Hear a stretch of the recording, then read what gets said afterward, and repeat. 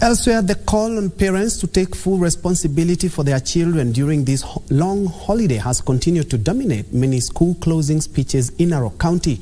Education stakeholders, among them academicians, teachers, and religious leaders, have called on parents to focus on mentoring their children, warning them against leaving them under the care of relatives.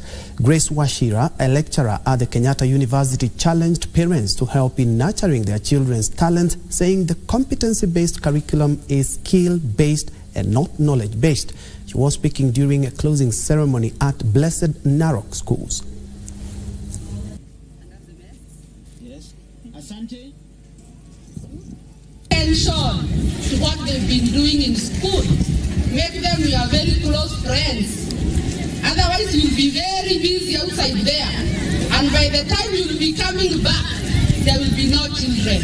Kwa hivyo wazazi, tuchunge sana.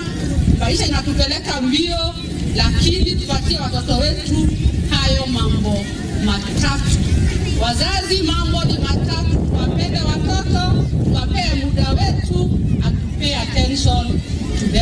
If there is anything challenging or you feel as a parent there is, a, there is so much, just ask God for that insight, wisdom, and understanding, even to the young one. Even the things you see that are very difficult for them to do.